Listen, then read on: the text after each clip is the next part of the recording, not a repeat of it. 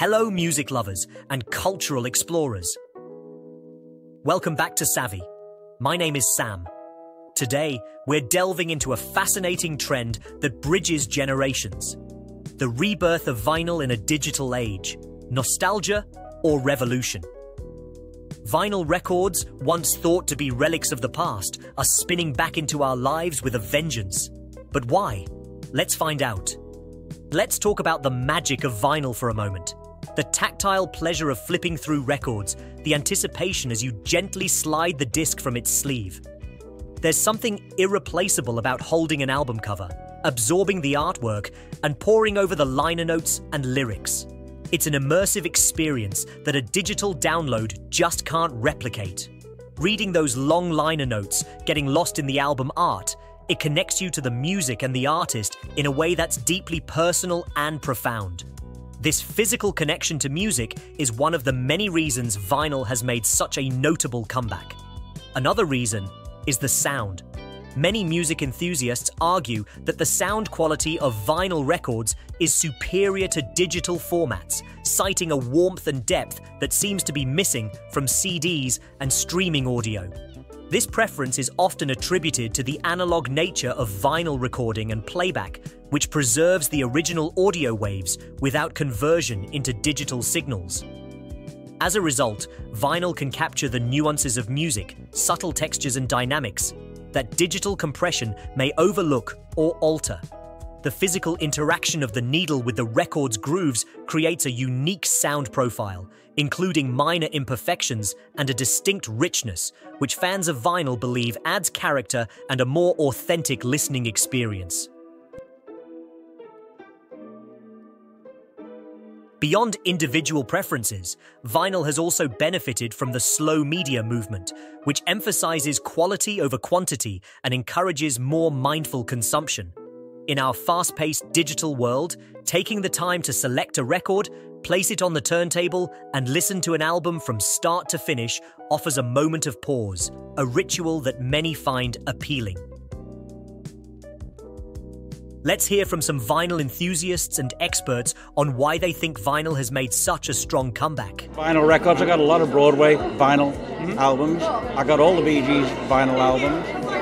Yeah, I do.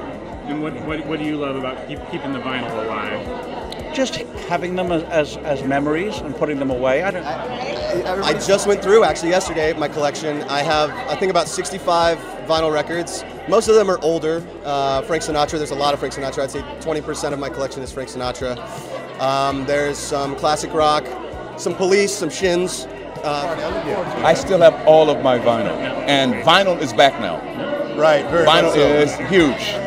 I And- still, go ahead, no, go ahead. And, uh, and, and a new generation, you know what I mean? I was gonna say I still got my turntable from the 70s. And so, Ralph, I've changed now uh, from eight tracks to iPods to vinyl twice. Okay. It sounds great, and it's great for the uh, younger generation to hear how music really should sound. Over the last several years, vinyl has become more and more popular. It's like it's snowballing. It's like doubling the double the double. It's amazing, and I'm so happy about it. I'm gonna get that. This is the one I wanted. Mike Shinoda co founded the band Linkin Park, one of the best selling acts of the 21st century. All my first beats were sampled off of vinyl records. Late There was something missing in that experience. The album isn't just about the music. The answer lies in the way we express fandom. I think a lot of fans see buying things from their favorite artists as keeping those artists going. Hey guys, this is Michael from Opeth. I'm in New York City and we're shopping at Generation Records. Uh, I like that you treat music with more respect when you play vinyl because you put it on, you sit down, you'll wait for one side to finish and then you have to get up. So it's more of an experience. You know, when you play it on vinyl, whether it's new, I, for new stuff, I go to Rough Trade, and you get new. All all the new artists put their album out on vinyl first, which is great. Um, so you get that, and then you get the old stuff, and it's all sounds so good on vinyl. And it's the ritual of putting it on, looking at the sleeve. The numbers speak volumes. According to the RIAA, vinyl sales in the US have not only revived but thrived, seeing double digit growth annually for the past several years and even surpassing CD sales for the first time since the 1980s. Thank you for joining us on this journey through the grooves of vinyl records. So, what are your thoughts on this vinyl renaissance?